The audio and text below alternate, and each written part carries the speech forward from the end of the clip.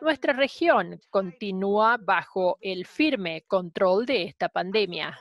Al 3 de agosto, las Américas tuvieron más de 9,7 millones de casos y más de 365 muertes.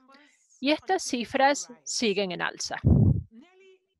Prácticamente cada uno de los países en Mesoamérica está presenciando picos de casos de la COVID-19 y muchos países están lidiando por responder a estos picos. En el Caribe, los países han logrado controlar los brotes iniciales, pero la mayoría de los países han registrado casos nuevos y deben permanecer atentos a medida que reabren sus fronteras y se enfrentan a tormentas tropicales. Vemos una tendencia creciente general en la subregión andiana y en Brasil. Chile tuvo un pico importante